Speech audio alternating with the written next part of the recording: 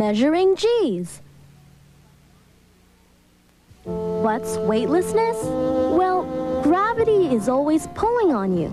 You've got weight because gravity pulls you against things, like the ground or a chair. If gravity didn't pull on you, you wouldn't have any weight. You'd be weightless. Say you're in a spacecraft orbiting the Earth. You and the spacecraft and everything in it are actually falling toward the Earth. You and everything else are all falling at the same rate. Nothing's being pulled against anything else. That's called free fall, and you'd feel weightless. But you don't have to go into space to experiment with weightlessness. Paco tried it in an elevator.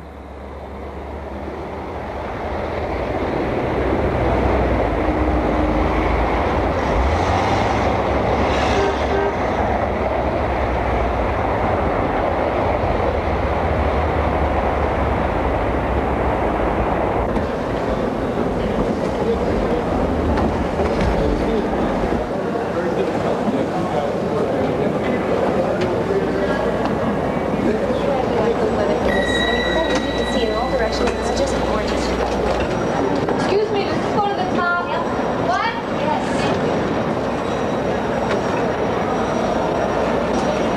I mean, it's on one side you can see New Jersey, on the other side you see Queens, down here you've got Staten Island, all the way up there, and it's the Bronx. It's mm. 360 degrees in every direction. It's just gorgeous. And when the sun is out, it's just beautiful. I mean, you can even see my house from up there. Really? It's great. Absolutely great.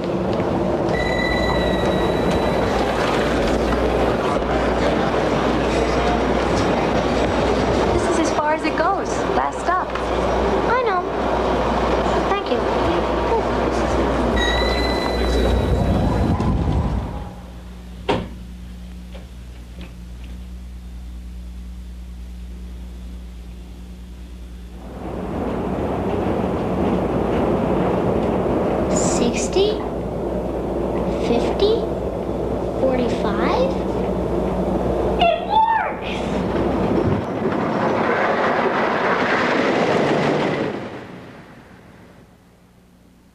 tried free fall on a roller coaster at Six Flags over Texas.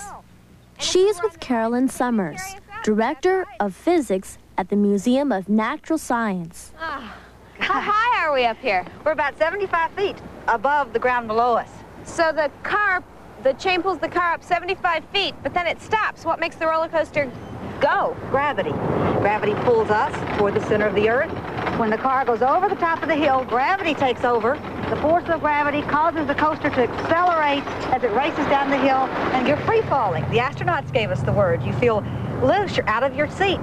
And then when you hit the bottom of the coaster hill, you're pushed into your seat and you feel heavy, maybe three, two or three, maybe even four times heavier than you normally feel. We get to feel for a moment what the astronauts feel like in free fall? Just about. We feel as light as an astronaut and as heavy as an astronaut does at blast off at the bottom of the hill. Okay, everything's ready. Have a good time.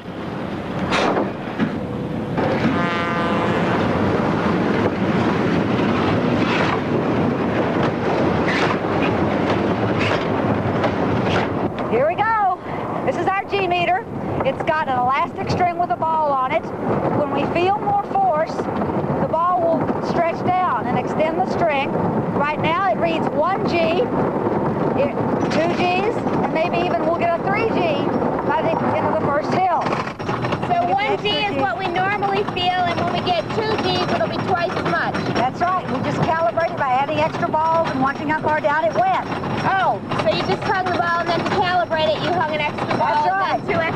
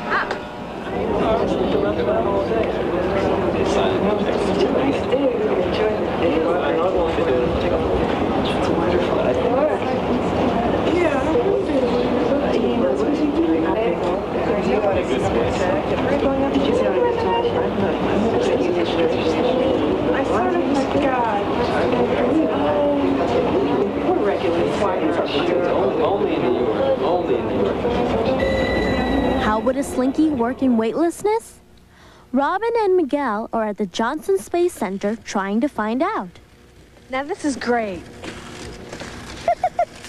but it's not going to work in space. It'll work. No, it won't. Yes, it'll work. How do you know?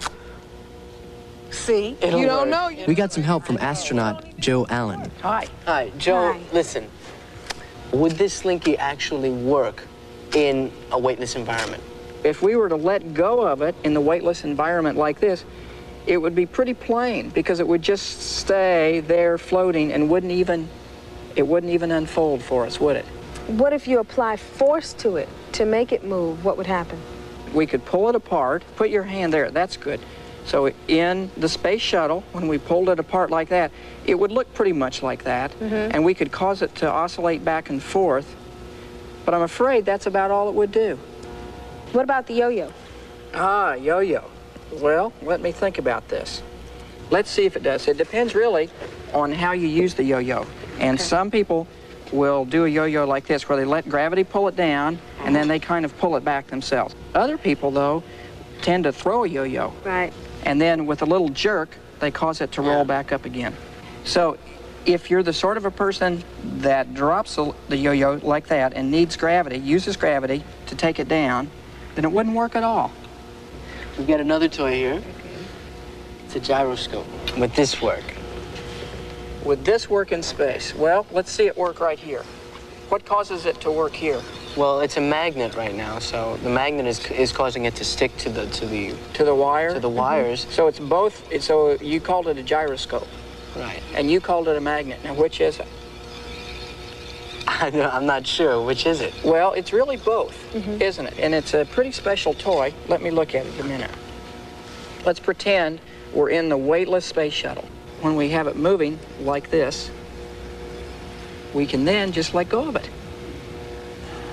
And the whole wire is, is floating, and the gyroscope is going around the wire. And what do you suppose the wire's doing besides floating? It would move back and forth. And the wheel would move in the other direction, so it would just keep going. Short of taking it to the shuttle, is there any other way we can simulate a weightless environment here on Earth? Uh, we have a special airplane that we call the weightless uh, airplane. The airplane's not weightless, but it, it flies a, a parabola. That is to say, it flies like a roller coaster, and as it goes over the top of the roller coaster part of the ride for just a few seconds, everybody and everything inside the airplane, all of us are weightless. That's the plane Joe's talking about, the KC-135. And that's me, inside the plane, with all the other people doing their experiments.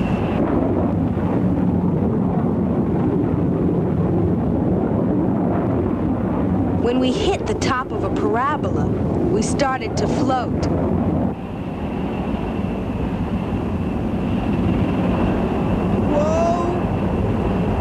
At first, I held on, but then I got used to being weightless. And then I tried our experiments. The slinky didn't exactly do what we thought. It did float, but it kept springing back together. See what I mean? Oh.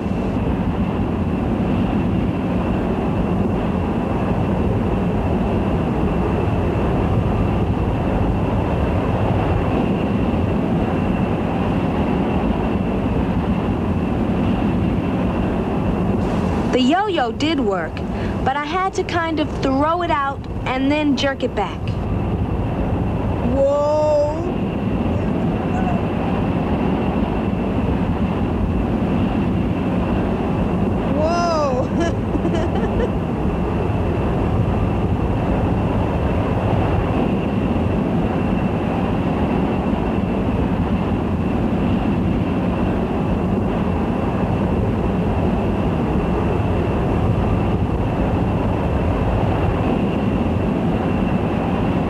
I couldn't get the gyroscope toy to work at all. And I don't know why.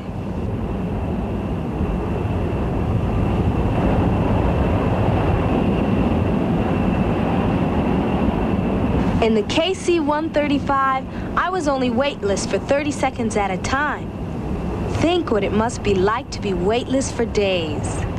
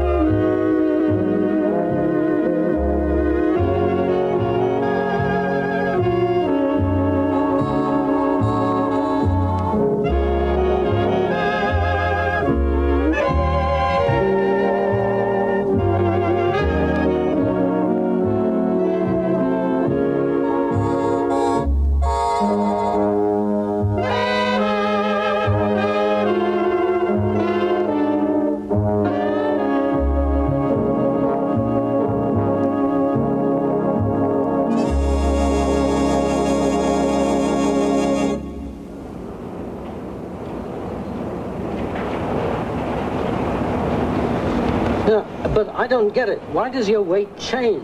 Because as gravity pulls me down, the elevator is still falling away from me. So I don't push on the elevator floor as much. Instant weight loss.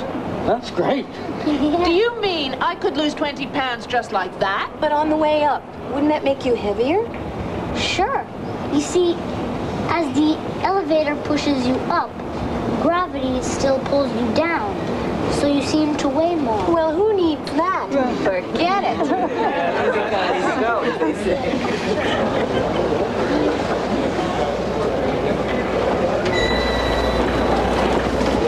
Any scale do that? Sure. How tall does the building have to be? How much do you think I could lose?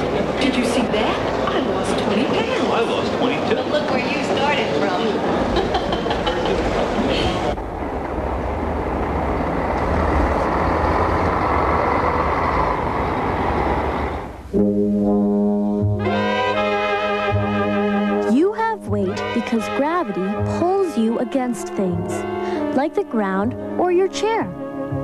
When you're not being pulled against something else, you're weightless. That's what happens in space. The astronauts call it free fall.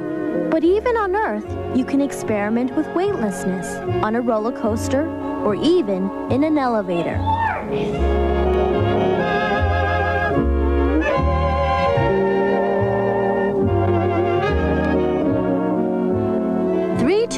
Classroom Contact is a production of the Children's Television Workshop.